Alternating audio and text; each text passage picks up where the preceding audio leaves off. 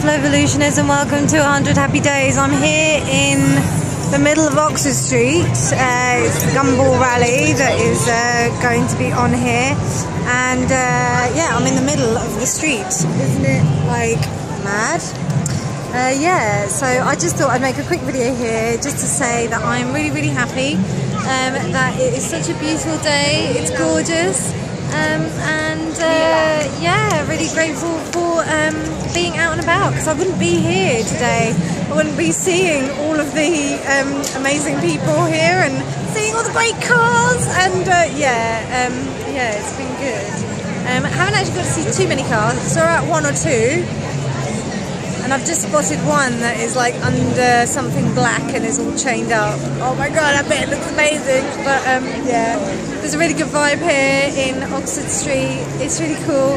So if I wasn't working, I wouldn't have that. So I'm really grateful for that. and also being able to listen to people and hear stuff and whatnot. But anyway, you take care. This is day 35 of 100 happy days and I'll see you next time. Okay? Take care and have a wonderful day.